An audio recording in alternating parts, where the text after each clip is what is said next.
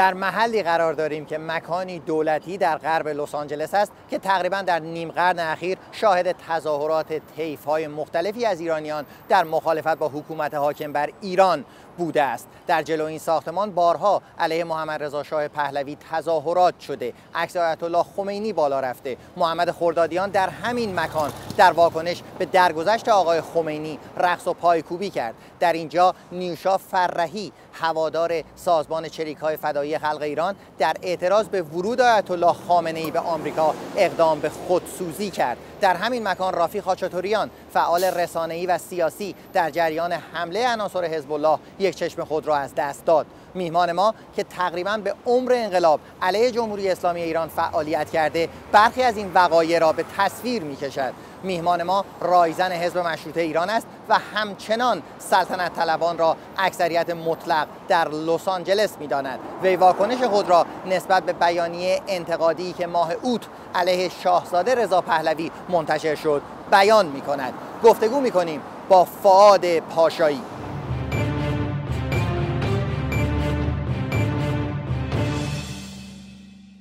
آقای پاشایی سلام بر شما.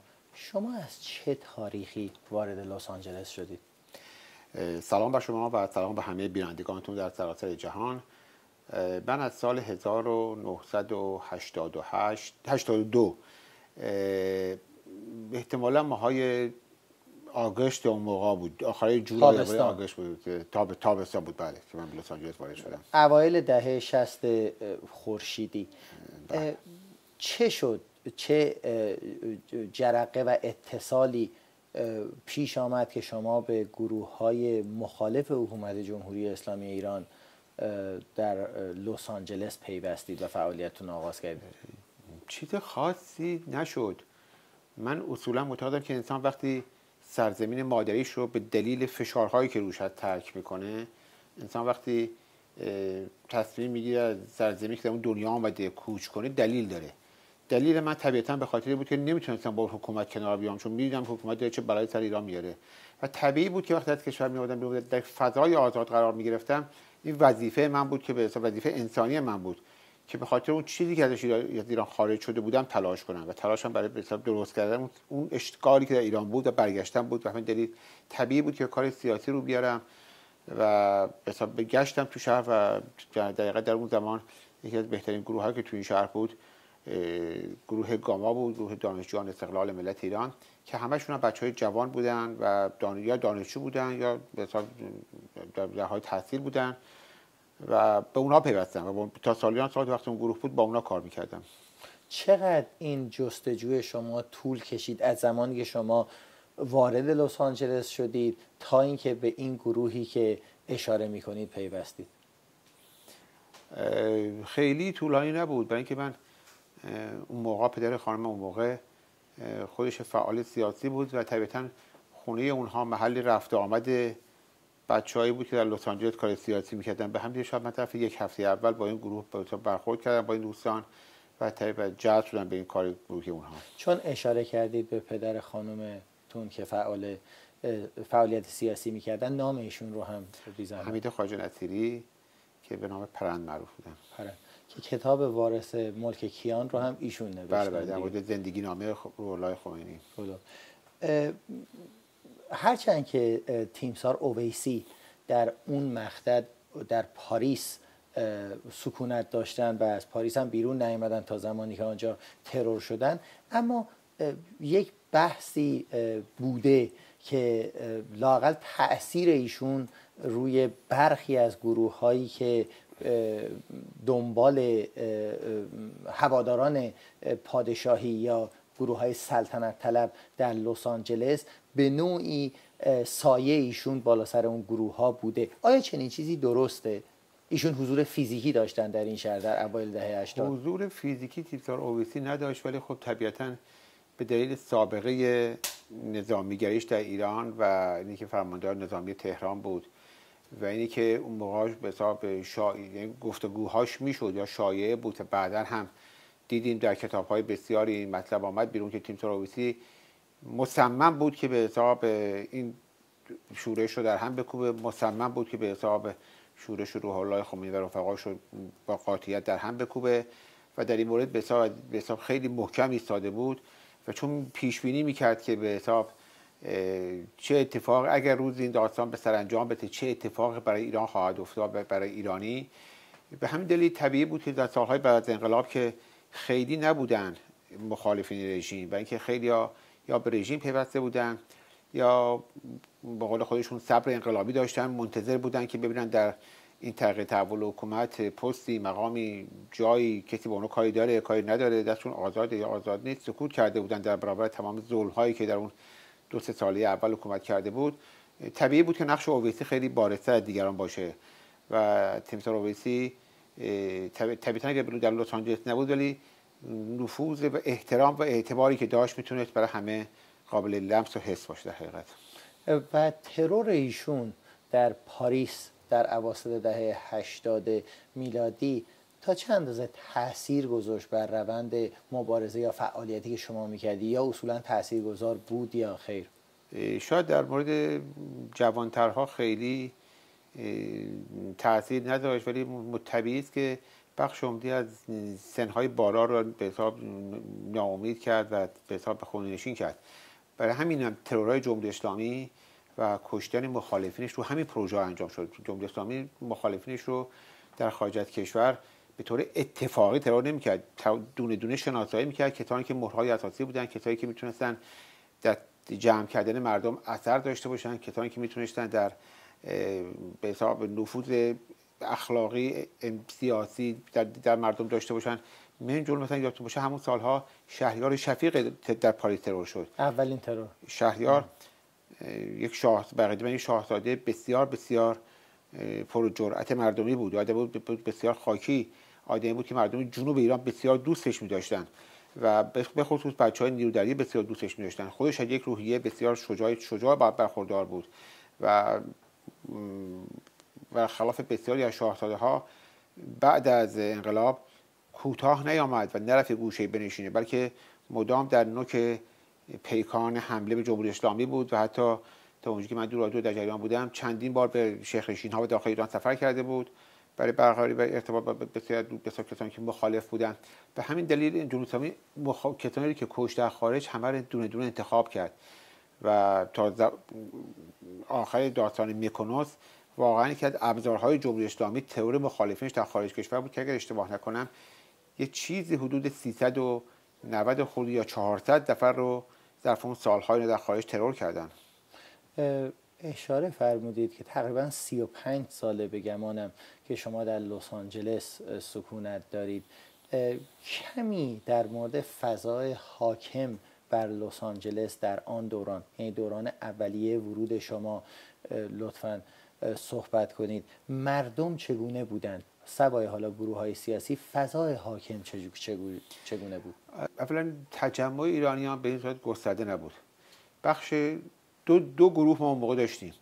یک گروه بچه های دانشجویی بودن که قبل انقلاب برای تحصیل آمده بودن به ایران به خواب آمریکا به لس آنجلس. و طبیعی بود که این بخشی که تا دو سه سال بعد از انقلاب مونده بودن بخشی بودن که با رژیم موافقتی نداشتن جز انقلابیون نبودن. چون بخش دانشجویان انقلابی بعد از انقلاب در همون سالهای در همون ماههای اول برگشتن به ایران برای اینکه به این انقلاب خدمت کنن و که فکر می‌کردن اون که کردن درست بوده و تونستن به حساب آزادی رو به ایران بیارن و حالا فضای که برن به قول خودشون برن کار کنن. که خب تو اون دو سال اول هنوز در حال صبر انقلابی بودن بلکه آقای حاجرالله کوتاه بیاد از کشتارشون از فشارشون از فشاری که بهشون میاد تا سه چهار سال بعد از اون بود که یواش یواش دیگه نه واقعا راهی راهی نیست برگشتن. ولی در لس آنجلس عموما همون جوانهای دانشجویی بودن که از قدیم بودن و بخش عمده ایرانیانی که بعد انقلاب آمده بودن یا وابستگان به رژیم بودن یا کسانی بودن که با این رژیم از آغاز از آغاز انقلاب سر سازگاری نداشتن. نه اون کسایی که رژیم بیرونشون کرد نه اون کسایی که رژیم درشون کرد از ایران.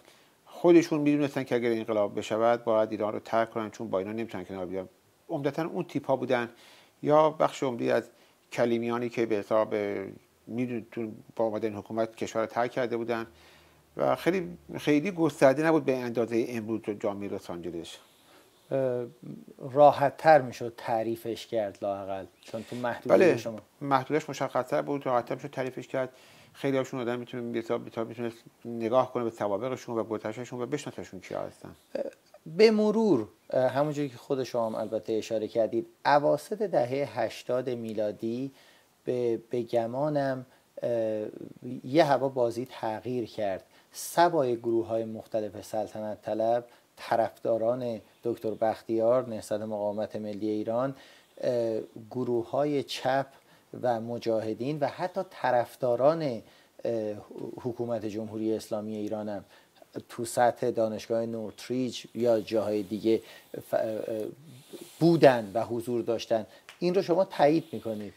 بله از حدودا همون آخر 82 یواش یواش شما مخالفین دوستان سابق و موافقین جدید جمهوری اسلامی رو می‌دیدید که به خارج آمدن و به خصوص خب لس که همیشه مرکز توجه بود که همه می‌خواستن به لس بیان.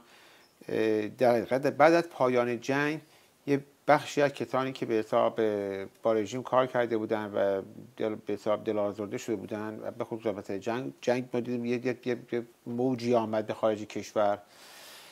شاید بعد از 93 و 4 یه موج گسترده ای از دانشجویان تحصیل کرده ای که در دانشگاه ایران دیگه فضای کار نداشتن در بعد از تحصیل در ایران و احساس می‌کردن که اون فضایی که در جامعه سیاسی جامعه به حساب کاری و جامعه اقتصادی ایران وجود داره جوابوی خواسته هاشون چون به قدری بعد از جنگ سپاه دست انداخته بود رو همه ارگان های به حساب مالی دولت که چیزی رو برای کسی دیگه نداشته که بتونه چشه شما می‌بینید که بعد از 90 یه بخش عمده از تحصیل کرده ایران از ایران خارج میشن و میان بیرون.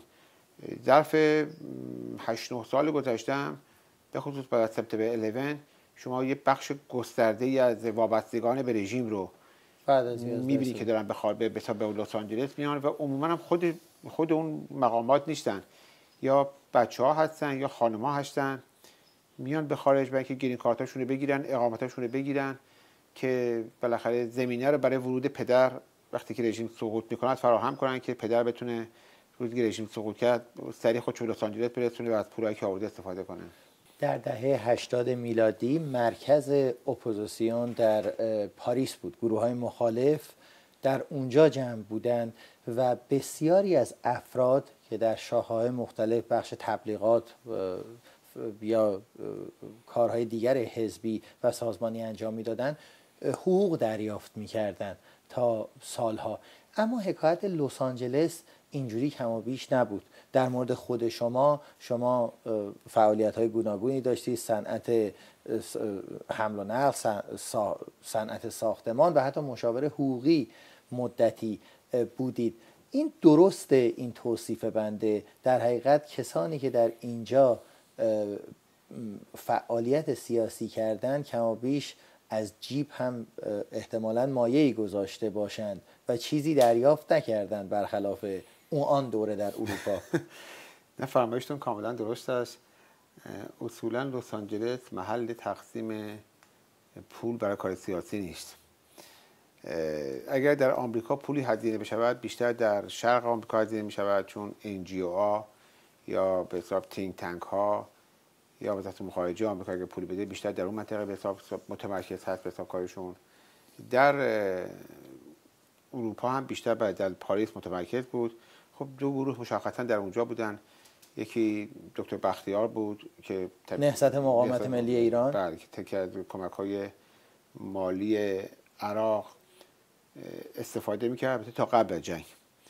وقتی که جنگ شروع شد که من می‌دونم دکتر بختیار ارتباطش رو با عراقی ها قطع کرد. چون حاضر نبود وارد اون معرکه بکنه خودشو ولی خب مجاهدین همین می‌دونم بودن در اونجا و کارشون رو می‌کردن و به حساب در پاریس هم مرکز دفتر داشتن.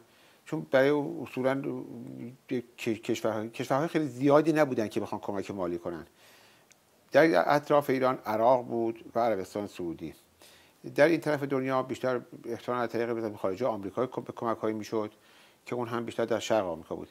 برای عرب عراقی ها و برای عربستانی ها هم راحت تر پاریس بود در حقیقت برای جابجایی پول و هم کمک و کنترل در این حال چون وقتی پول شما میدی به یکی میدی طبیعتا کنترلش هم می‌کنی که پول چیکار کردی که سوای این دو گروه برخی از گروه های چپ ها و حتی احتمالا نمی‌دانم شاید قبل از دوران جنگ حتی تیمسار اویسی بحث های بحث بله. ارتش آزادی بخش بله. اون بله. موقعی که مطرح تیمسار اویسی هم به حساب حتی که به عراق رفت قبل از جنگ بود ولی وقتی جنگ شروع شد اونا آمد اونجا بدن بیرون.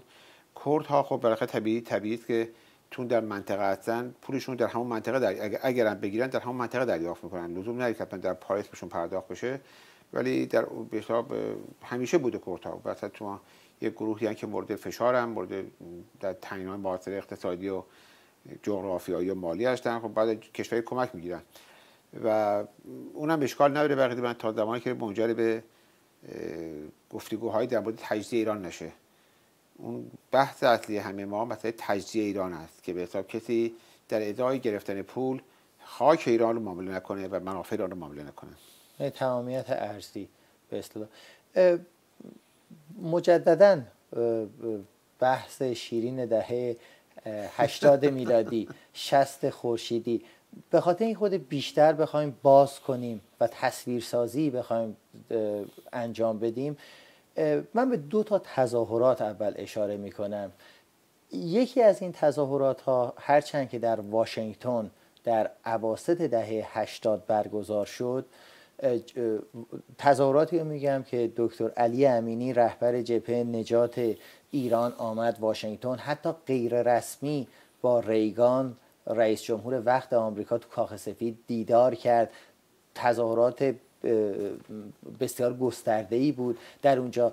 و بسیاری از آدم هایی که در حقیقت سهیم بودن در این مسئله بچه های لس آنجلس بودن و خیلی هم از خود لس آنجلس رفتن. کمی هر آنچه که یادتون میاد در مورد تاریخش زمانش در مورد این تظاهرات و اهدافش برای ما بگید. در حقیقت مسئله همکاری و متحد کردن همه گروه ها و همه مخالفین جمهوری اسلامی همیشه از اون آغاز مورد نظر کسانی بوده که در حال مبارزه جمهوری اسلامی بودن. یعنی در حقیقت یک نبرد دو طرفه بوده. مخالفین معقول و آبرومند تلاش می‌کردن که همه رو دور هم جمع بکنن از این داستان یک نیروی قدرتمند بسازن برای فشار بودن به دیوار جمهوری اسلامی. جمهوری اسلامی تلاش می‌کرد. با نفوذ خودش با, با هر راهی که می‌تونه شرافتمندانه غیر شرافتمندانه مخالفین خودشو حتما متفرق کنه بینشون دعوا بندازه بینشون نفاق بندازه بینشون انشاب بندازه بینشون اصلا دورشون کنه. به همین در اون سالها سال 83 یا 84 اگه اشتباه نکنم احتمالاً 84 84 بله. یک تظاهرات خیلی گسترده قرار شد در واشنگتن برقرار بشه و چون مرکز واشنگتن بود قرار شد که از همه آمریکا بتونیم با بسیج کنیم و بیایم بریم به واشنگتن. دکتر امینی قرار بود بیاد و دکتر بختیار قرار بود بیاد و شاهزاده رضا پهلوی و این سه نفر با هم دیگه در حقیقت یک پایه یک همکاری جدی و مشترک رو بذارن اون موقع. بیعتی بکنن. بله دیگه حساب در کار مشترک اونجا شروع بشه به گروهی که اون موقع خیلی فعال بود. چون امینی هم در در در در دکتر خیلی فعال بود در پاریس با جبهه نجات. خب برای داستان برمیگرده به سی و چهار پنج سال پیش. همچین دیروز نیستش که همه یادشون باشه لس آنجلس اون موقع من یادم خدا یعنی در سطح آقای اسدالله مروتی رو هر جا که هست روش شاد نگه داره انشالله چون مطمئنم هست اینجوری. بسیار مرد شریفی بود. آقای مروتی شاید بشه گفت در حقیقت در لس آنجلس یک جورایی سعی کرد که همه رو دور هم جمع کنه و از همه کمک بخواد که بیایم این کارو بکنیم آقای مروتی که مدیریت رادیو, صدای ایران رو بله بله به عهده داشتن. اون هم به حساب پایه قضیه بود. ما بچه‌ای که با باشون کار می‌کردیم گامام یه پایه قضیه بودیم. ما خود ما خب چون تعدادی جوان فعال هم بودن خب طبیعتا کار تشکیلاتی یا سازماندهی موضوع رو خیلی سریع تونستن به عهده بگیرن. ما یه چیزی که اشتباه نکنم بین 6 تا 7 تا هواپیمای چارتر اون موقع لس آنجلس که کرایه کردیم و همش هم پولش از بین هم ایرانیان جمع کردیم. یعنی بچه‌ها پای تلفن همینجور تلفن ها زنگ زدن از هر کسی 100 دلار 200 دلار 300 دلار. یا اصلا خودش دعوت کردیم بیان گفتم هر کی می‌تونه خودش بیاد به واشنگتن برای تظاهرات هر کی نمی‌تونه بیاد حداقل یه کمک کنه که یه نفر دیگه که نمی‌تونه بیاد بیاد. و تونستیم بعد در حقیقت موقع پول 6 تا یا 7 هواپیمای چارتر رو جمع کنیم. و بالاخره خب اون موقع مثل الان نبود که شما باید بلیط ها رو حتما روش اسم میذاشتی بله بله گروهی می‌تونستید بگیرید دیگه خیلی کم چک بله. checkpoint checkpoint خیلی کمتر بود. مثل الان دیگه سپتامبر 11 نشده بود که اینجوری چک بله. کنن شما هم مثلا یه 20 بلیط می‌خرید 20 بلیط می‌خرید دم در به هر کی در رو می‌دادید می‌گفت آقا سوار شد دیگه. فقط در در آیدی شد سوار می‌شد. به هم ما اون موقعی میاد ما به حساب بچهای گاما که مسئولیت این تش... مدیریت تج... لوجستیک رو داشتیم تا حدی بالاخره همه رو سوار کردیم رفتن و آخرین هواپیما و آخرین بیت ها رو برای خودمون نگه داشتیم که خودمون بعد که همه رفتن به لس آنجلس پرواز کردن رفتن حالا ما سوارشون بریم که افتادیم به ساعت 9 شب و پرواز کنسل شد. فردا ظهرم قرار بود تظاهرات در واشنگتن در واشنگتن برگزار بشه. و ما قرار بود همچین بریم که به حساب صبح ساعت 5 برسیم که بعد تظاهرات ساعت 12 ظهر آماده باشیم. و هواپیما از دست یعنی هواپیما پرواز کنسل شد. با یکی دو ساعت دعوا و تو فرودگاه به حساب از این گیشه به اون گیشه رفتن بالاخره ما ساعت دوازده شب پرواز کردیم ساعت ده صبح رسیدیم به واشنگتن. از چندین شهر رو استاپ کردیم و رفتیم تا ساعت ده رسیدیم واشنگتن. و برای ساعت و در اون تظاهرات متاسفانه دکتر بختیار نیامد و فقط دکتر امینی آمد.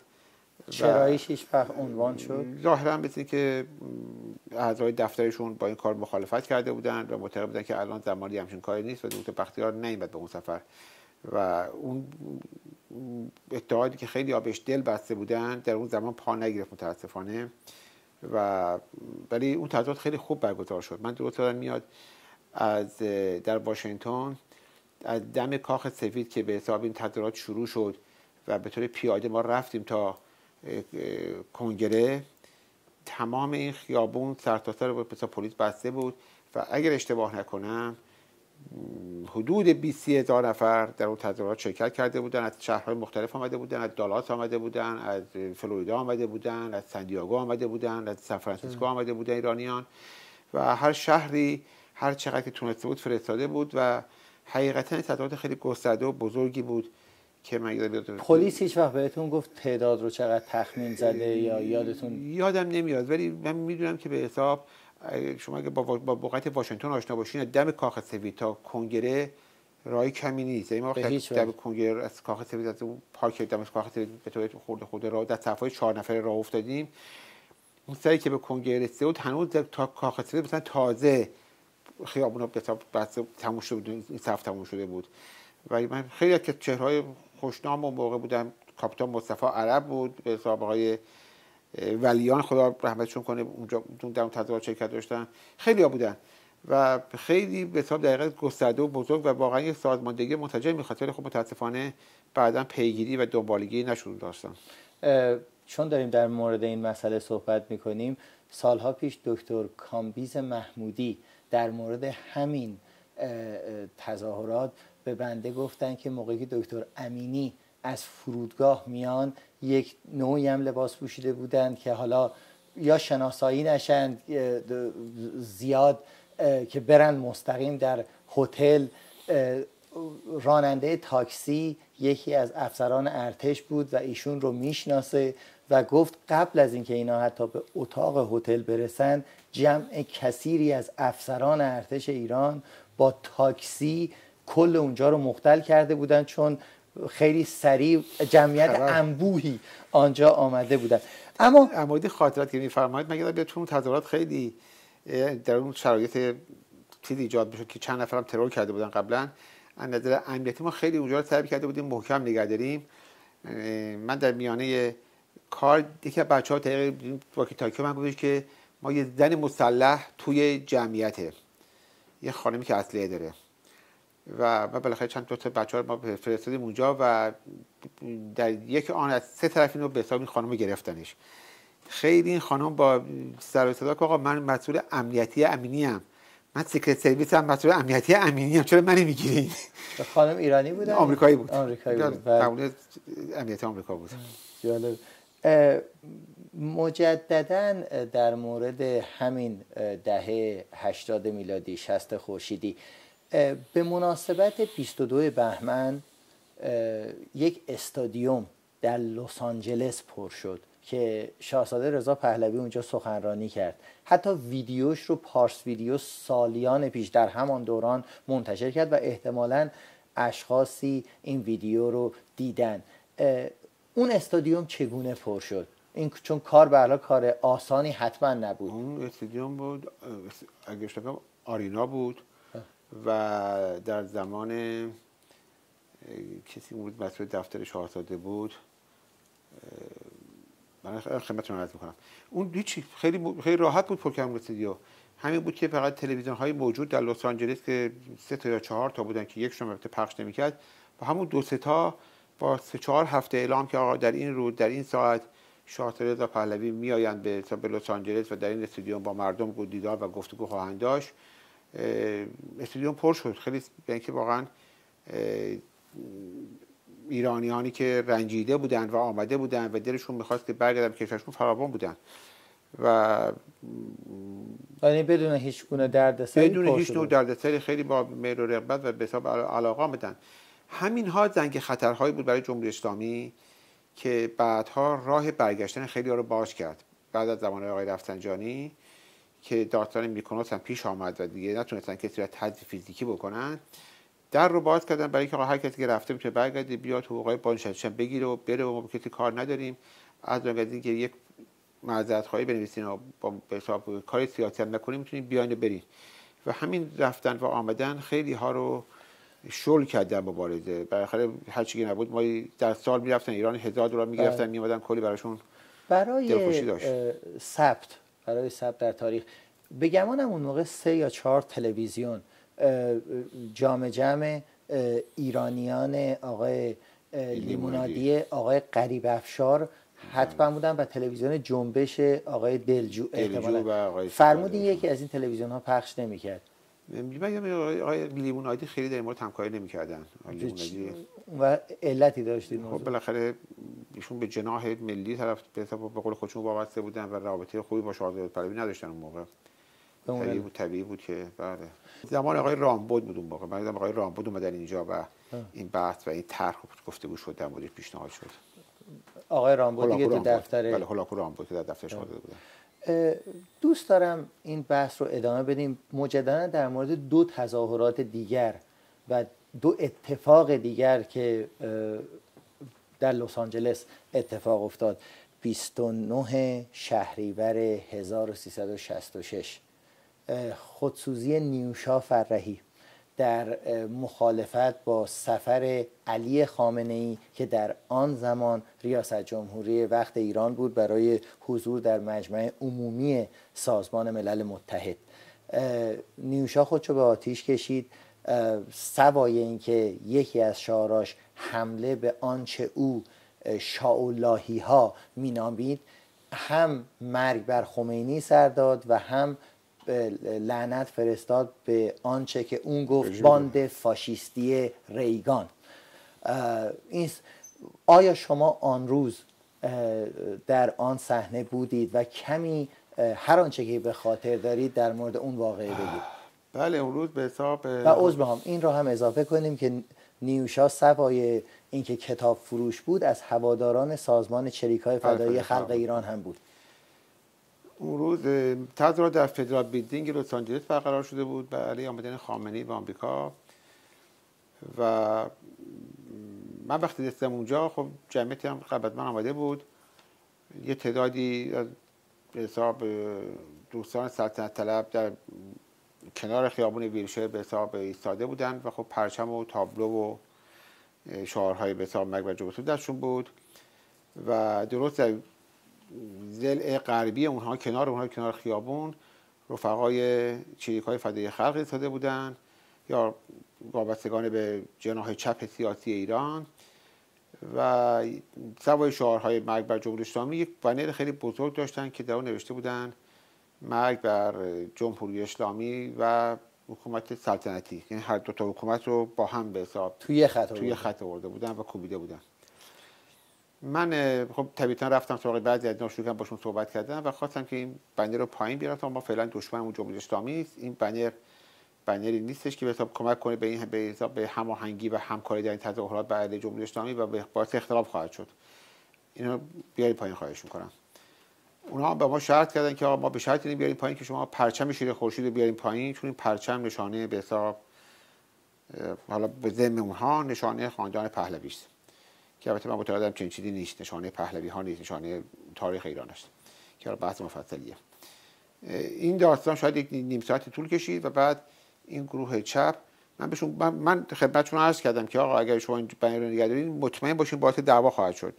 شما نمی‌تونید به یک کسانی که بغل دستتون ایستادن به حساب شعار مرگ بقیدش به عقیده اونها بدین و بعد طبقاتشون دعوا نشه. اونا بالاخره بعد از 20 دقیقه رفتن روی اون سکویی که بالای فدرال بیلدینگ هست و اونجا با همین بنر در یه محیط بالاتری در محیط مسلطتری ایستادن و شروع کردن به شعارهای خودشون دادن. و در این حال دوستان سطح طلبان پایین به برای خیابون تو زمین چمن فدرال بیلدینگ بودن. ظاهرا قرار بود که نیوشا امروز خودش رو چون دوستان چپ می‌دونستن قرار بود نیوشا خودش رو به حساب سمبولیک آتش بزنه. یعنی با الکل به خودش خودش آتش بزنه. و به بعد خب رفقای چپ وسایل کافی آورده بودن که نیوشا رو خاموش کنن. چون تعداد اگر همشون نه تعدادشون می‌دونستن. هم حوله های مرتوب داشتن هم به حساب حوله هایی که روغن خورده بود یا یه ماده روش خورده بود. ولی متاسفانه در کمال تاسف در همین میانه که نیوشا خودش آماده می‌کرد که جمعیت جدا بشه و یه مقدار دورتر در این محیط بازتری خودش رو به حساب آتش بزنه. چند تا به حساب دوستان طرفدار پادشاهی که از این اتفاق بیخبر بودن و نمی‌دونستن که چه اتفاقی قرار اونجا بیفته و نیوشا خودش بزنه رفتن که این بنر مرگ بر سلطنت رو از میانه تظاهرات بکشن پایین و پریدن و این بنر رو کشتن پایین و این بنر پایین آوردن باعث دعوا بین این دو گروه شد. و اون دو سه نفری که ظاهرا قرار بود به نیوشا کمک کنن که بعد از آتیش, آتیش, آتیش گرفتن خودش خاموشش کنن این دو سه نفر برای شاید می‌تونم بگم در 20 ثانیه شاید کمتر یا بیشتر درگیر این دعوا شدن و از این کار قفلت کردن. یعنی درست همون لحظه که نیوشا خودش بود که سوختگی عمیق بشه. همون لحظه بود که اون طرفتر یه دی با هم درگیر شدن. و تا اون تیم خودش از اون درگیر رها کنن بیان به نیوشا کمک کنن یه در 20 ثانیه بیشتر از اون زمانی که تعیین کرده بودن طول کشید و متاسفانه این زمان کافی بود که سوختگی رو به حدی برسونه که بعدا نیوشا نتونه به حساب زنده بمونه متاسفانه. که ایشون بعد از ده روز به در بیمارستان فوت کردن. بله و ایشون هم در حقیقت همون موقع حتی موقع که فیلمش حتی تو موقعی که آمبولانس هم آماده بود که ایشون رو ببره طبق روش و سنت اون موقع رفقای چپ همینطوری به هر دو رژیم فوش می‌داد هم به رژیم جمهوری اسلامی هم به رژیم سلطنتی و پهلوی بله و, به آنچه که ایشون باند فاشیستی ریگان خب چون سوای حکومت بله. حاکم بر اینجا شاملش شد دوست دارم شما ما رو ببرید به تیر 1367 در حقیقت واقعی که در اون به رافی خاچاتوریان حمله شد. بازیگر قب... بله. بازیگر و مجری سابق تلویزیون ملی ایران که در خارج از کشور هم کار رسانه ایشون کردن هم فعالیت سیاسی. آیا شما اون روز آنجا بودید یا چه فضایی بود و چه اتفاق افتاد؟ در حقیقت می‌دونیم که رافی خاچاتوریان یکی از هنرمندهایی است که از آغاز انقلاب کارهای تنز بسیار کوبنده در اون زمانها در به سخره کشیدن آخوندها و به جان نسار بله، در کاور آقای جان نسار و هر هفته من یادم رافی یه برنامه کوتاه کمدی داشت که به نوعی بالاخره با با تنز با تنز خیلی کوبنده به رژیم حمله می‌کرد. و خیلی چهره شناخته شده بود بین بین مخالفین و برای موافقین رژیم هر دو. اون روز قرار بود که تظاهرات در فدا بدین برگزار بشه. بعد مخالفین به حساب موافقین رژیم هم آمدن که حالا مخلوط بودن دیگه از حزب الله ایرانی و لبنانی و عراقی و همجوری که دیگه به حساب سودانی و هر در هم. هر کسی که ساندویچ می‌گرفت اومده بود خلاصه بالاخره. برای که من فکر نکنم برای مثلا سودانیش اند فهمیدن تو ایران چه خبره. مگر همون ساندویچ رو به قول بچهای تهران کوکاکولاش بود که به حساب کانادیراش بود که آورده بودش. ولی ما هم چند تا دوستان بودیم قرار گذاشتیم بریم اونجا. رافی به حساب دقیقت می‌تونم بگم یه ده دقیقه رو زودتر از دیگران رسید. رسیده بود و رفته بود به حساب تو اون صحنه و خب بالاخره با روحیه‌ای که رافی داشت که همیشه به حساب صدای بلند و رسا و به حساب چهره که میشناختنش بلافاصله اونها بدن سراغش. مخالفین و ظاهرا هفته قبلش هم یک تنز خیلی کوبنده در مورد آقای خمینی اجرا کرده بود. بهش حمله کردن. در درگیری پیش آمد و در اون درگیری متاسفانه چشم رافی لطمه خورد که همونجا بردنش. به حساب منتقل شد به حساب طریق آمبولانس به دانشگاه یو در اون بیمارستان و بعد مشخص شد که یکی از چشماش رافی از دست داد. در اون سال من مثلا شاید می‌تونم بگم 7 10 دقیقه بعد فقط رافی رو زمین بود, من رسیدم اونجا. این چند دقیقه دیر رسیدم. که داشتن به حساب رو منتقل کردن به آمبولانس رو رفت. و بعدا در دادگاه تونستن اونها با وکلایی که داشتن تا حدی از این داستان قسر در رن با جرم خیلی کوچیک قسر در رن و حتی من اون لبنانی شهروند امریکا citizen امریکا بود درست نمیگم؟ بله بله. لبنانی بله. بالاخره جزو همون رفقایی هستن که امروز در لبنان احتمالا پدر مادرشون منافع بسیار اسلامی دارن. اشاره کردیم به فضای اپوزیسیون در پاریس که اون زمان بودجه‌ای در حقیقت داشت برخلاف لس آنجلس. اما کم و بیش با نگاهی به رسانه های فارسی زبان در لس آنجلس این ارگانی بودن این رسانه ها در آن موقع و به نظر من به نوعی دو جناحی بودنشان یا سنگ شاهزاده رضا پهلوی رو به سینه می‌زدن یا دکتر بختیار را. از دید شما چون فعال بودید در تمام این سالها و از جمله در آن دوران تا چه اندازه بودجه اپوزیسیون در این رسانه ها تزریق می‌شد و یا شد در دهه 80 در لس آنجلس اون موقع روزنامه چاپ می‌شد که آقای منصور انوری پیام ایران. پیام ایران رو چاپ می‌کردن به عنوان ارگان جبهه ملی به عنوان نهضت آزادی. نهضت مقاومت ملی. نهضت مقاومت ملی که آقای بختیار به حساب ادارش می‌کردن در لس آنجلس. اون در حقیقت تنها میشه گفت تنها روزنامه سوای مجاهدین. تنها روزنامه ارگانی بود که به عنوان ارگان چاپ می‌شد. ولی اون هم روش هیچ وقت نمی نوشت ارگان. و حتی خود آقای انوری برخی از زمین و خانه ای که مثلا در سان فرانسیسکو داشت فروخته بود. من بحثم بیشتر سر تلویزیون ها و نشریات دیگری هست که آدم چنین خطی رو درش می‌بینه. هرچند که ببین حقیقتا وقتی بیشتر تلویزیون هایی که در خارج کشور یا رادیوها یا روزنامه که در خارج کشور وا شده به جناح راست سیاسی ایران یا به طرفداران پاچایی نزدیک بوده. من نمی‌تونم واقعا از قصد واقعی اینها بگم. چرا؟ ولی می‌تونم به خیلی راحت حد بزنم که نظر به اینکه بیشترین تعداد جمعیت ایرانی خارجی کشور از جناح پادشاهی دفاع می‌کنه یا از جناح اندیشه پادشاهی دفاع می‌کنه طبیعی که روزنامه که در خارج وا میشه می‌خواد آگهی بگیره. طبیعی که می‌خواد بین این مردم آگهی بگیره. باید مطلبی بنویسه که این مردم خوششون بیاد. اگر ارگان نباشه اگر پولش از جای دیگه در نیاد می‌خواد مردم پول بگیره باید بتونه از این دل این مردم آگهیشو بگیره. شما الان در مورد دهه 80 دهه 60 خورشیدی صحبت بکنین یا همچنان چنین نظری رو؟ دهه 60 و هنوز هم همینه. هنوز هم فکر کنید همین باشه. ببینید شما خب اگر مثلا میگم کسی که میاد تلویزیون وا می‌کنه رادیو وا می‌کنه روزنامه وا می‌کنه خب یه شماره دو شماره طرفانه رفتار می‌کنه. یا اصلا جناح نمیگه یا به سلطنت حمله می‌کنه. خب وقتی میده آگهی بگیره یارو خیلی با اکراه میده. خیلی با سعی می‌کنه آگهیش به اون روزنامه بده که نظرات سیاسی اون رو بیشتر تبلیغ می‌کنه. سعی می‌کنه آگهیش رو به اون کسی بده که به نظرات سیاسیش بیشتر نزدیکه.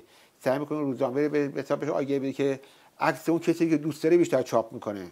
حالا نه تفنگی بالا سرشونه نه ساواکی بالا سرشونه نه سوامه بالا سرشونه ولی نیچر انسانی دیگه. به همین دلیل خیلی از اینها مهم نیستش که طرفدار اون اندیشه هستن یا اون شخص هستن یا نیستن. زیر فشار افکار عمومی در اون جناح قرار می‌گیرن و تبلیغ اون جناح رو می‌کنن. طبیعی که اگر مثلا میگن مجاهدین یا چپ های ایران دست بالا رو داشتن مثلا همه business های شاید دست چپ های ایران بود هیچ روزنامه تونی شاید یا که اقلا کمترین روزنامه از سلطنت اسمی بود همه سعی می‌کنن عکس لنین بذارن عکس مارکس بذارن عکس چه چه‌گوارا رو بذارن. من در ادامه اظهارات شما این نکته رو فقط اضافه کنم. مجله در می اومد اینجا به نام ایران نیوز. ایران نیوز شماره های اولش که بنده خودم در آرشیوم موجوده است از انقلاب ایران به رهبری آیت الله خمینی حمایت می‌کنه در لاعقل ده شماره اولش. همین نشریه بعدا عکس محمد رضا شاه پهلوی رو رو جلد منتشر می‌کنه و اصولا از دید برخی از مردم با اون لفظی که اون موقع به کار می‌رفت به عنوان نشریه شاولاهی حتی معروف میشه. نشریه که لاقل در ده, خب. در ده شماره اولش انقلاب و حتی به رهبری خمینی تایید می‌کنه. یعنی خواستم به نوعی تایید شاید باشه به این تحلیلی که الان شما دارین انجام میدین. ببینین خب نشون این آدم اعتقاد سیاسی نداره. طبیعی بینش سیاسی هم نداره. فکر کنم الان فضای ایران است همون اتفاقات بهمن 57 است و هیجان می‌نویسید در مورد دفاع از آقای خمینی.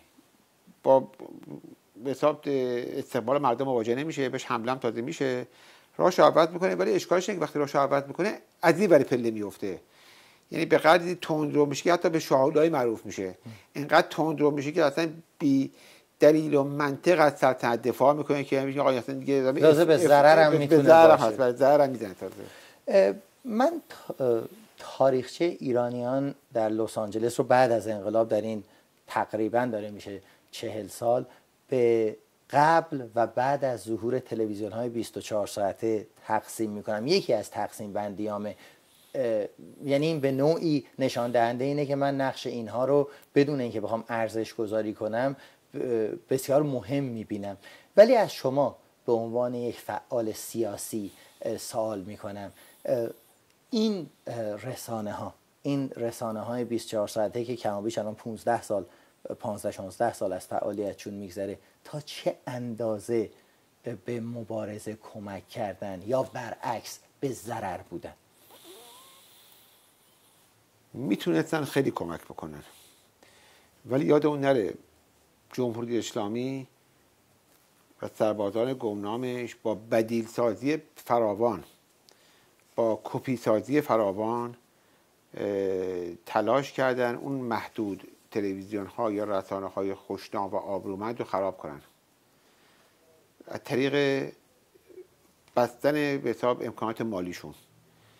یعنی این جامعه ایرانی خارج از کشور به من مثلا می‌تونه دو تا یا سه تا یا مکسیموم چهار تلویزیون یا رادیو یا رسانه رو خوب به طور آبرومند کمک کنه آگهی بده پولش برسه به اینا و اینا زندگی کنن. و کار آبرومند و کار حرفه‌ای ارائه بدن. کار حرفه‌ای به این معنی که شما مثلا در یک تلویزیون 20 تا 30 تا 40 تا کارمند داشته باشید در دیپارتمنت های مختلف کار کنند برنامه تولید کنن خبر تولید کنن. اینا آدم شما 30 تا آدم داشتی اینا حقوق می‌خوان. طبیعی که اون بعد اون تلویزیون یا رسانه باید به اندازه کافی از جامعه ایرانی درآمد داشته باشه. جمهوری اسلامی میاد چیکار می‌کنه؟ میاد در برابر شما 45 تا تلویزیون دیگه درست می‌کنه. قیمت آگهی شما رو میشکنه. مثلا میگم از دقیقه 5 دلار میرسونه به دقیقه 25 سنت. رقبای شما که از جمهوری اسلامی پول می‌گیرن احتیاج به اینکه دقیقه 5 دلار بگیرن ندارن. با دقیقه 25 سنت ظاهری براشون کافیه چون پول از صورت تهران میاد. یعنی سوبسید براشون میاد یارانه یار... یارانه های خیلی قوی یارانه های نه شخصی را یارانه های فامیلی گم...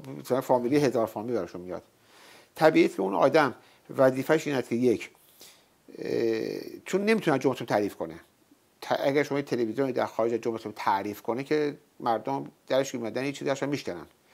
فقط وظیفش اینه که مردم رو فقط به طرف هنر ببره به طرف موزیک ببره ورزش از ورزش ببره. از کار سیاسی دور کنه بحث سیاسی نکنه. خبرهای ایران رو همون که در ایران گفته می شود و شنیده می شود و در تلویزیون همون رو با یه مقدار کمتر یعنی کم رنگتر پخش کنه.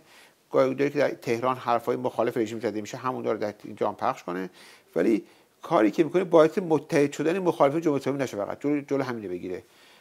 و در این حال مهمترین کاری که می‌کنه به قدری جامعه آگهی دهنده و جامعه که می‌تونه business های ایرانی رو تلویزیون ها رو support کنه رو از این داستان دور می‌کنه که اون تلویزیون به جای که 40 تا کارمند داشته باشه مجبور شه به 4 تا کارمند خلاصه بشه به جای که هر کارمندش ما 4000 دلار بده که زندگی مرفه مجبور مجبور به هر کارمندش ما 1500 2000 دلار بده کار درست از کار در نمیاد برنامه خوب ساخته نمیشه تلویزیون آدم حرفه‌ای رو نمی‌تونه جلب کنه. کار آدم حرفه‌ای نمی‌تونه جلب کنه. بعد در مقایسه با اون تلویزیون که مثلا 6 تا کانال داره و فقط برای ایران فیلم پخش می‌کنه یه نفر نیپرسه از کجا این پول میاره بیزینسی که برای 40 نفر اهمیت نمیده بیزینسی برای 40 نفر قبلش ضرر داره کجا یک آدمی یا شخص میاد یک کانال کشتی 6 تا کانال با کنه با یک اش و 6 تا کانالش هم 24 ساعت داره کار می‌کنه 24 ساعت داره داره برنامه تولید می‌کنه. این مای 15 60 70 میلیون دلار از کجا مثلا برای 5 سال تو جیب مؤسسه ریخته میشه؟ چرا؟ برای که باقی رو بتونن میدون به در بکنه باقی از صحنه به در بکنه و در این حال به در حساب بتونه کمک باشه برای اون لحظه به خصوصی که می‌خواد. من معتقدم تجربه کودتای ترکیه از قبل برای جمهوری اسلامی مشخص بود. شما دیدید ترکیه وقتی کودتا شد آقای اردوغان با مشکل, مشکل رسوندن صداش مواجه بود. احتیاج به یک کانالی داشت چون اون کانال های معمولی رو به حساب تو کودتاچا گرفته بودن. بتونه با مردم ترکیه صحبت کنه. هیچ شما بعید نمی‌دید که همین تلویزیون بعد تلویزیون که امروز 24 ساعت فیلم پخش می‌کنن. اگر در تهران شبکه صدا سیما کار افتاد یه مرتبه اینا شروع کنن خبرهای جمهوری اسلامی پخش کردن.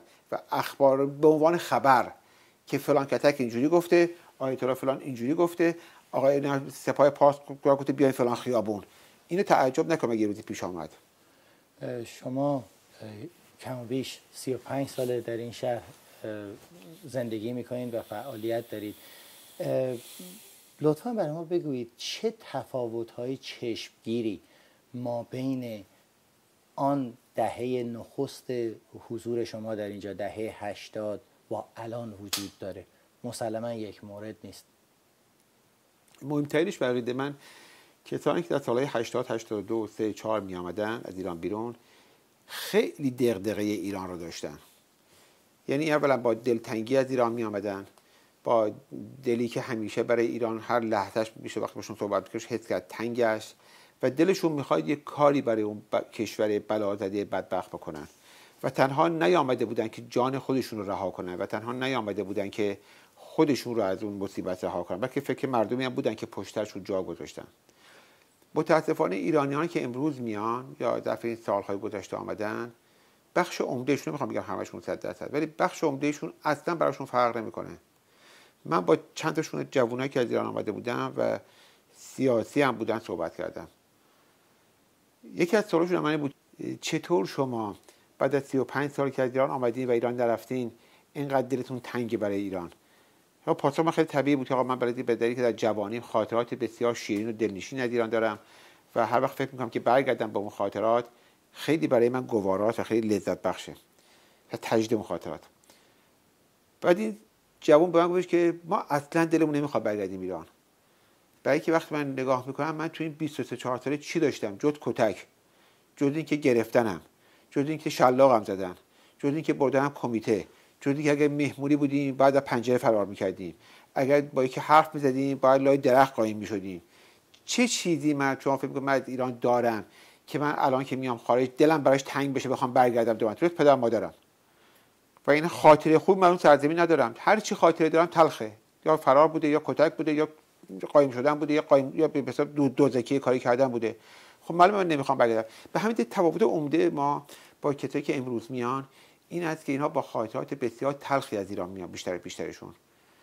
با خاطرات بسیار ناگواری از ایران میان. و به همین دلیل از این تکلیفشون هم مشخص تره یعنی مثل بسیاری از افراد نیستن که برگردن بله. یا کی برمیگردن.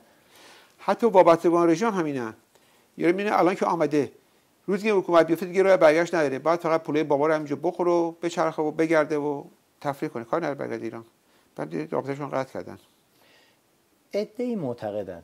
لس آنجلس همباره چوب چرخ به اصلاح آمیانه مبارزه گذاشته. مثالشون برخورد اکثریت این شهر با بختیار با تشکیلات بختیار و اخیرا شاید بعد از تشکیل شورای ملی یا این انتشار بیانیه آخرین هشدار به آخرین ولیعهد ادهی به حال در این شهر امضا کردند که آدم های شناخته شده ای هستند چنین بحثی رو مطرح می‌کنن واکنش شما رو به عنوان آدمی که 35 ساله دارین در این شهر فعالیت می‌کنین در این مورد می‌خواستم بدونم. فکر نکنم به شهر ربط داشته باشه. به توده جمعیت ایرانی ربط داره به مبارزه. برای اینکه شما حساب کنید مثلا طبیعی که هیچ وقت برلین نمی‌تونه چنین تصریحشون اثری داشته باشه. چون بدون اونقدر جمعیت ایرانی نداره که مرکز توجه باشه. جمعیت اون توده جمعیت گسترده بخوام با هم اختلاف نظر یا توانی کنن یا با هم کمیته تشکیل بدن یا با هم سندیکا تشکیل بدن. طبیعی است که به حساب شهرهایی که ایرانی درش زیاده که یک شم لس آنجلسه می‌تونه همیشه هم مثبت باشه هم منفی باشه. و خب طبیعی ایران ما ایرانی عادت داریم که نقاط مثبت رو معمولا یادمون میره فقط اون منفی ها رو یادمون میمونه. خیلی بزرگ. نه لس آنجلس حساب کار مثبت هم زیاد کرده بقیده من. بسیار کار مثبت زیاد یعنی کرده. یعنی اگه رو کفه ترازو شما بخوایم بندازین کدوم سمتش بالاتر مطمئنا کار مثبتش بر علیه جمهوری اسلامی بیش از کار منفیش بوده. یعنی منفی های غیر عمد منفی هایی که اشتباه بر رو خلق و خوی و فرهنگ ایرانی می اومدن رو عمد بوده واقعا. اشاره شد به بیانیه آخرین هشدار به آخرین ولیعهد. برداشتتون رو می‌خواستم در دو زمینه بدونم. یک برخورد رسانه های این شهر تا چه اندازه فکر کنین مسئولانه است با این بیانیه تا چه اندازه شفاف نخست این مورد رو بفرمایید. طبیعی است که به هر شهری هر رسانه بر مبنای نگاه های خودش تصمیم گیری می‌کنه و عمل می‌کنه. شفاف بودن. خب ببینید نظر کیانتای کسانی که به این بیانیه نوشتن یا نظر کسانی که به در این بیانیه مورد سوال قرار گرفتن؟ این یه طرف قضیه چیزی که بقیده من خیلی در این بیانیه به می‌تونه مثبت باشه این است که طرفداران پادشاهی مشروطه نشون دادن که برخلاف آنچه که بر علیهشون چه جمهوری اسلامی چه مخالفین دیگرشون ترویج میدن و به تبلیغ می‌کنن آدم های فرد پرست نیستن. به یه شخصی به سر چارت پروی هم معتقدن هم براش احترام قائلن. هم وقتی که به حساب حس می‌کنن که خطایی کردی یا اشتباهی کردی یا اشتباه سخن گفته بهش ایراد می‌گیرن. و این ایراد رو مخفیانه و در گوشی و یواشکی نمی‌گیرن. مثل هر جامعه مدرن امروزی که شما می‌بینید مثلا در آمریکا یه مرتبه مثلا 12 تا 20 سناتور دموکرات نامه با آقای اوباما می‌نویسن رئیس جمهور دموکراتی کشور. همش ایراد می‌گیرن که فلان جا رو اشتباه کردی. حالا مثلا با که درست بوده یا غلط بوده کار با این فرهنگ در در باز سخن گفتن و فرهنگ مشکلات رو در پابلیک مطرح کردن و گفتن و مخفی نکردن و همیشه رو قایم نکردن و همیشه رو نپوشوندن حقیقتا من فکر کنم فرهنگ تازه در جامعه ایرانی. بلکه من تا حدی که این دوستانی که بعد از دوستانی که بیان رو امضا کردن می‌شناسم اینها مخالف جمهوری اسلامی به مخالف سلطنت نیستن. مخالف جمهوری اسلامی هستن. دلشون می‌خواد سلطنت به ایران مطمئنا به سلطنت مشروطه به ایران برگرده. ولی معتقدن که اگرم اشکالی هست باید بیان کنن و باید بگن و باید در حرف بزنن. طبیعی است که این فرهنگ برای, برای خیلی از ما تازگی داره. ولی من امیدوار هستم که در مورد همه ماها این فرهنگ جا بیفته و ما عادت کنیم که به حساب اشکالاتمون رو و ایراداتمون رو بگیم نه که جمهوری اسلامی که وقتی میلیارد میلیارد میدوزن البته شورای تشکیل مثلا نظام میگه آقا کسی اگه پرونده دزدی اختلاط ها رو بخواد بیاره بالا محکوم میشه. حتی در مورد دزدی ها صحبت نکنید. چه به حساب قدم اشتباهی حرکت اشتباه فلان. و اگر ما با اونها مخالفیم باید روش های پیش بگیریم که در حقیقت مخالف روش های اونها در مورد سرکوب گذاشتن خفه کردن هر موضوعی است برای من. شما از امضا کنندگان این بیانیه نیستید. پنجاه و اندی نفر که البته چند نفر دو نفرشون لاقل در ذهن من هست که در همین شهرم از غذا سکونت دارن که امضا, امضا رو پس گرفتن. در این حال شخص شما چون اسم شما آمده یکی از امضا کنندگان به نوعی اشاره به این می‌کنه و درخواست عمومی است چون این اون برنامه منتشر شده و بر روی اینترنت هم هست که از شما می‌خواد این بار در میانه نایستید.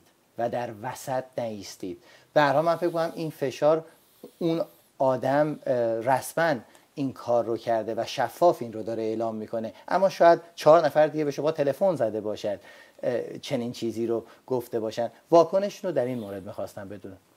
والا آقای آزادبهاری ما من خودم میگم. من جای جایی وان هستم که کسی من بگه باید چیکار کنم؟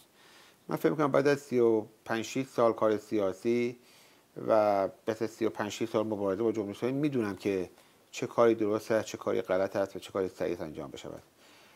همونجور که من در مورد دیگران تعیین تکلیف نمی کنم که دیگران چه بکنن چه نکنن فکر نکنم این رفتار رفتار دموکراتیک و حرف دموکراتیکی باشه کسی بخواد به کسی تو چه کار بکن چه کار نکن. یعنی شما بکن نکن سیاسی رو گذشته. هم از سنم گذشته هم از سنم گذشته هم از به سابقه هم گذشته که بخوام به این حرفا باشم. من فکر کنم هر آدم عاقل خودش می‌دونه بعد چی رو تصمیم بگیره چی عمل کنه. خیلی هم به حساب واقعا آدم باید ساده انگار باشه که فکر کنه می‌تونه به کسی هر به حساب امر نهی کنه که که به این کارو بکن یا اون کارو کن کسی که 37 سال داره در مورد به حساب آزادی بیان و آزادی کلام صحبت می‌کنه و به حساب تلاش می‌کنه و زندگیشو گذاشته. یه مقداری به حساب بی توجهی کردن ایشون می‌تونم بگم به این حرفا. بیانیه همین آخرین هشدار به آخرین ولیعهد تا چه اندازه تعجب شما رو انتشارش برانگیخت؟ من به محتواش اصلا کار ندارم. آیا شما که 35 سال فعالیت کردید اصولا فکرش رو یک موقعی می کردید که طرفداران نظام پادشاهی در این شفافیت در حقیقت یا شاهزاده رو زیر سوال ببرن یا به حال انتقادی بکنن. اصلا پیش بینیش در ذهنتون شده بود؟ بله برای من پیش بینیش خیلی ساده بود. برای اینکه ما در تش... در حزب خودمون حقیقتا سعی کردیم همینجوری رفتار کنیم. یعنی هر اشکالی هر مطلبی مقصودتون حزب مشروطه ایران. حزب مشروطه ایران. هر مشکلی هست رو بگیم و بیان کنیم و فکر کنیم به حساب فکر می‌کنیم که به حساب راه بهتر و دموکراتیک ترین راه هست که حساب مشکلاتش رو مدون بگه و بیان کنه. ولی حقیقتا به حساب این فکری فکر می‌کردم. ولی شاید امیدوار بودم که به نوع دیگری گفته بشه این موضوع. چند وقت بود چنین چیزی در ذهن شما بود که نه در مورد شاهزاده کلا من اصولا من اصولا با این رفتار سیاسی موافقم. با این, رفتار با با این رفتار سیاسی با انتقاد موافقم که آدم انتقاد رو بگه. به خصوص اگر انتقاد مدون باشه یعنی آدم بتونه کد کنه که کجا کجا چی میگه. سندیت داشته بعد وقتی میگه بعد انشا می نویسن یه پنج صفحه انشا نویسی می‌کنن. از در و دیوار و مردم فقیر و مردم گشنه و مردم بدبخت و مردم بیچاره و کمکشون می‌کنیم ولی تا آخر نفهمید چی شد. یه انشا می‌خونی انشا خیلی دلسوز و دلت میگه نفهمید چی شد. اما مطلبی که مشخصا بتونه تو رو کد کنه که کد بقیده ما. حالا یا غلطه تا درسته. کجا اشتباه کردی؟ کجا اشتباه کردی؟ این نقطه رو میگیم. اون نقطه رو میگیم بعد این بیانیه‌ای که می‌تونه به حساب کارساز باشه اگر بهش توجه بشه. اشاره کردین به حزب مشروطه ایران. در 20 سالی که از تولد حزب مشروطه که نخست سازمان مشروطه خانه ایران بود میگذرد تا چه اندازه تصور می‌کنین حزب مشروطه ایران در حوزه محلی؟ چون ما الان در لس آنجلس نشستیم تاثیرگذار بر فضای لس آنجلس بوده.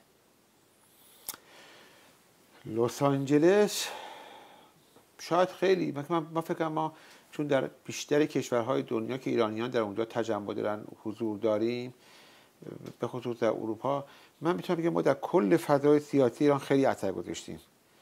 ما ظرف این سالها نه به بحث من اون نیست. من لس آنجلس به تاریخ لس آنجلس و لس آنجلس.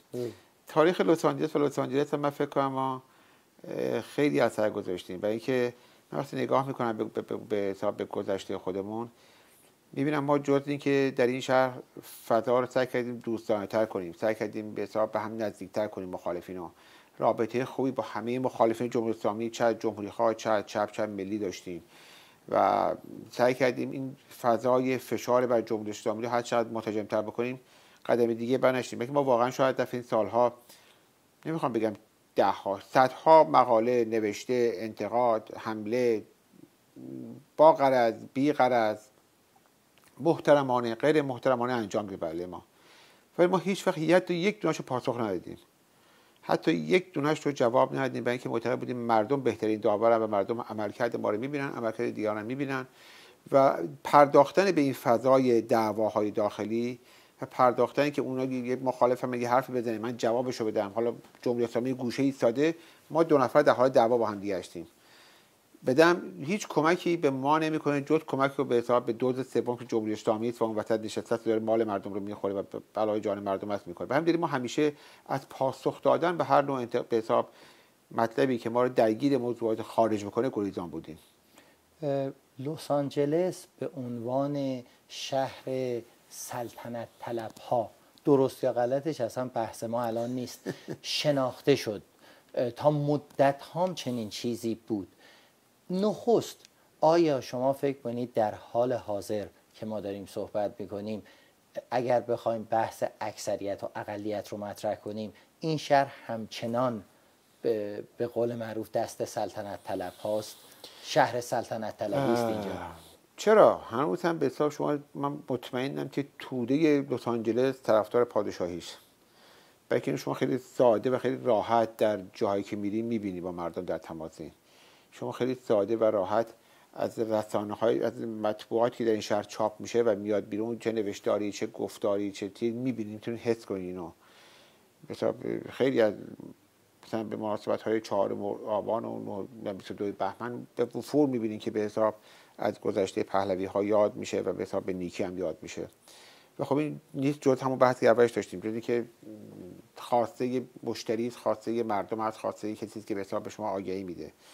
هنوز شهر در, در, در به من معتقدم نه که شهر در اختیار سطح طرف باشه بلکه شهر در اختیار مخ... در وهله اول مخالفین جمهوری اسلامی و بعد کسانی که طرفدار پادشاهی هستند با تمام تلاش جمهوری اسلامی کرد با تمام تلاش که با آوردن خواننده و کنسرت و فلان از ایران سعی کرد بکنه و فضای شهر رو بچرخونه و فضای شهر رو عوض کنه هنوز متاسف خوشبختانه. به حساب براش چنین امکانی ایجاد نشده و نتونسته که این شهر به دست بگیره چشمانداز ایرانیان رو در لس آنجلس چگونه می‌بینید چگونه ارزیابی می‌کنید ایرانیان برای من نظر دو بخش میشه اینو تقسیم کرد. یه بخش ایرانیان میشه گفت حرفه‌ای کسانی که در سطح جامعه لس آنجلس کارهای حرفه‌ای می‌کنن business حرفه‌ای می‌کنن در جامعه لس آمریکایی لس آنجلس به حساب نقش دارن. تونستن خودشون رو به حساب قاطی کنن با جامعه لس آنجلس و خیلی هم موفق باشن. شما مثلا به شهرداری لس آنجلس نگاه می‌کنید. بخش عمده از مدیران شهرداری لس آنجلس ایرانی هستند. در بخش های مختلف در دیپارتمنت های مختلف ایرانیان هستن یا مثلا می‌بینید که نوروز که میشه شهرداری لس آنجلس نوروز مخصوص برگزار می‌کنه. یک روز جشن می‌گیره در شهرداری به عنوان نوروز ایرانی. و این نیست بخاطر جز به خاطر اینکه نفوذ این بخش ایرانی یا شما حساب کنید تجار ایرانی در لس آنجلس طبیعی است که بخش عمده از پول این شهر رو در اختیار دارن. یعنی جابجایی پول در شهر یا کم و زیاد شدن تجارت در این شهر در اختیار در, در اختیار به ایرانیان مقابل لس آنجلس. طبیعی است که می‌تونن اثرگذار باشن. بخش تو بخشی که ظرف 8 9 سال گذشته وارد شدن و 10 سال گذشته آمدن اینها من معتقدم یواش یواش جذب بازار کار خواهند شد. بعد از اینکه دو سه سالی بگذره و فضای دموکراتیک آمریکا رو حس کنن. مطمئنا جذب این فضا خواهند شد و از اون فضای فرهنگ ایرانی میان بیرون و من که من فرهنگ ایرانی این روزها فرهنگ چندان خوبی نیست. این مدت فرهنگی است که با تربیت 35 ساله آخوندی اشکال توش اشکالات عمده پیدا شده. زمانی که به فعالیت 35 ساله خودتون در این شهر و در خارج از کشور فکر می‌کنید چه احساسی بهتون دست میده؟ من خوشحالم. من خوشحالم که به سهم خودم کاری که می‌تونستم کردم تا اونجا در توانم بوده. نتونستم به جمله اسلامی ساقط کنم. ولی بلکه کار یه نفر دو نفر بر نمیاد. ولی من به عنوان که سهم خودم رو به, به کشوری که بهش متعلق بودم دادم خوشحالم. برای اینکه در کنار این ببینید مسئله تنها مبارزه با جمهوری اسلامی نیست. مسئله نیست که ملتی بلا زده شدن تو کشور خودشون. انکار نمیشه کرد که امروز برای اولین بار در تاریخ بعد از 1400 سال بیشترین تعداد ایرانیان داوطلبانه با دل رنجور با دل گرفته سرزمین مادرش رو ترک می‌کنن. یعنی فقط کافی سر سوزنی فضا پیدا کنن که اون سرزمین رو ترک کنن و زیر دست آخونده فرار کنن. حالا مردم میره بعضی که میرن ایران سالی در خارج زندگی می‌کنن. سالی هزار دلار حقوقای بازنشستگیشون می‌گیرن صداشون در نمیاد تعریف می‌کنن که خیابون ها نو است و مغازه ها نو است و ساختمون هایی که طبقه نوکیسه ایران ساختن خیلی شیک است و فلان جای خود. ولی شما وقتی ببینید چه جمعیت گسترده داره سرزمین مادریش رو داوطلبانه ترک می‌کنه و سرزمین فرار می‌کنه این بهترین ظرف اندازه‌گیری است که به شما بگه چه خبرتون کشور. کشوری که آدمهاش حاضر به زندگی در کشور خودشون نیستن. من فکر کنم این تعریف می‌کنه همه چی رو. تمام خوشبختی ها و بدبختی ها تعریف می‌کنه. من در این میانه اقلا تونستم بخش یه تعدادی که دستم می‌رسه کمک کنم. یه تعدادی که نه به دلیل مسائل اقتصادی بلکه به دلیل مسائل سیاسی چون اون بخش بخش کاری منه. بخش مسائل سیاسی.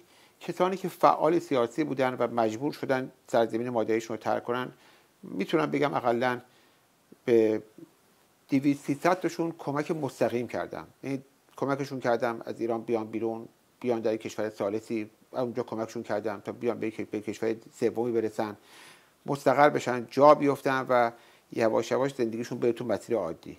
حالا بعد از اینکه آمدن مستقر شدن یا دلشون خواسته کار سیاسیشون ادامه دادن یا دلشون نخواسته مثل بعضی ها ول کردن و رفتن به زندگی شخصشون چسبیدن ولی اقلا من وقتی برمیگردم نگاه می‌کنم به گذشته خودم می‌بینم اقلا من تونستم 200 نفر یا 200 خانوار رو شاید به یک امنیتی برسونم. خب از من یه نفر چی بیش از این برمیاد؟ از من یه نفر مثلا خب من چیکار مثلا باید بکنم که از این بیشتر بتونم بکنم؟ حالا تو اینا بعضیاشون خدمتگذار شدن به این جامعه خدمت کردن به این جامعه. طبیعیش که آدم از اون کاری کرده خیلی خوشحالتره خیلی راضیتره میگه کاش چند تا دیگه از مثلا به سینم بودن. یه کتانی آمدن دردسر شدن که خب دیگه اون بچانسی آدم آدم که مثل این نوع آوردن ها مثل ازدواجه. تو که نمی‌دونی چی میشه اون ورش که میاری.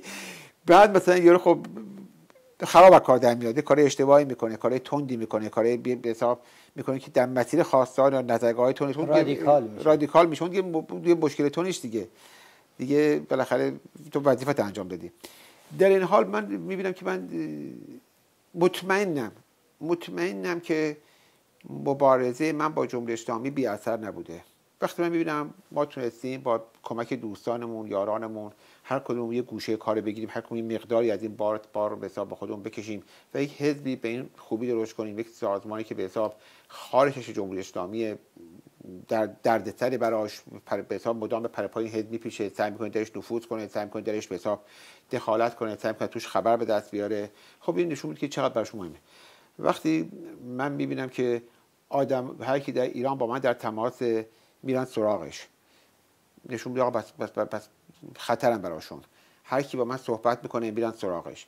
هر کی من تلفن می‌کنه میرن خشم آقا چرا به این تلفن به این شما تلفن کردی؟ خب این که سیستم های چیز دارن برای کنترل مطالب. خب ببینم که این موضوع جدیه. وقتی می‌بینم که به حساب تلف... حساب تلفن می‌کنن با آدم و خیلی رک و پوسکنده میگن آقای پاشایی فقط به ما بگو چقدر قیمتته. ما به چشم قبول می‌کنیم.